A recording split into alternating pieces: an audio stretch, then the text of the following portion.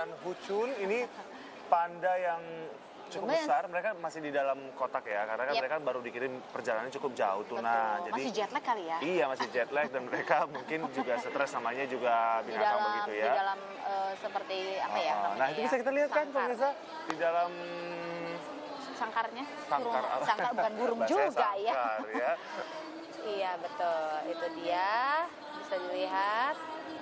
Ih gemes banget sih yang namanya panda ini, aduh. Tujuh tahun aja badannya udah gede banget ya, nah. Iya. Wow. Oke ini dia, jadi masih preskon si panda-panda ini. Iya, memperkenalkan diri Memperkenalkan, begitu ya. Nama saya Ni hao, I am Wu Chun. Chai, iya. Ni hao, Ni I am hao. Chai Tao. I am Chai Tao and I am Wu Chun. Nice to see you Indonesia. Iya. Gitu ya. Nah, ini dia.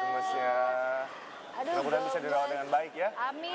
Nah ini eh, ini adalah juga panda yang eh, dari Tiongkok ya, nah. Mhm. Yang memang di Oh ini waktu dari Oh, ini masih di Tiongkok. Oke. di Tiongkok mau dikirim Mau ke dikirim Indonesia, ya.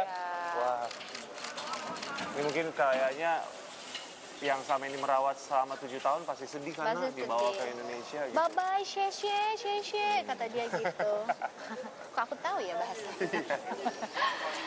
Gemes ya. Gemes. eh, ya Mudah-mudahan ampun. eh, Cai Tao dan Huchun ini bisa nyaman di Taman Safari. Mereka Ya. sehat terus ya. Dan bisa Pastinya. berkembang biak mudah-mudahan. Nah. Bet oh iya betul betul harusnya nyaman karena kan teman-teman yang di Taman Safari juga baik-baik merawatnya ya.